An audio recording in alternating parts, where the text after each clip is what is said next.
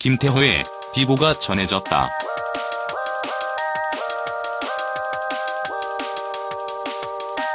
개그맨 김태호의 비보가 전해졌다.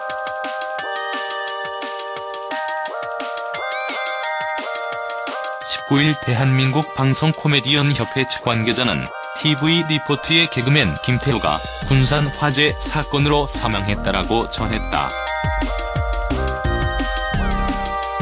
이 관계자는 17일 화재 사건으로 사망했다.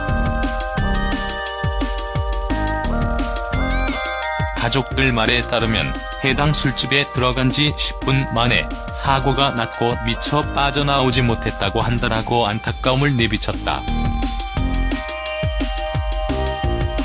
관계자에 따르면 김태호는 골프 대회 참석을 위해 미리 군산을 찾았고 지인들과 함께한 술집에서 해당 사고를 당했다. 대한민국 방송 코미디언 협회 측 관계자는 빈소가 이제 차려졌다. 성남중앙병원에 빈소가 마련됐으며 21일 오전 발인을 할 예정이다면서 비보를 이제 접해서 개그맨들에게도 다 알리려고 한다라고 밝혔다. 고 김태호는 1991년 KBS 공채 8기 개그맨으로 데뷔했다.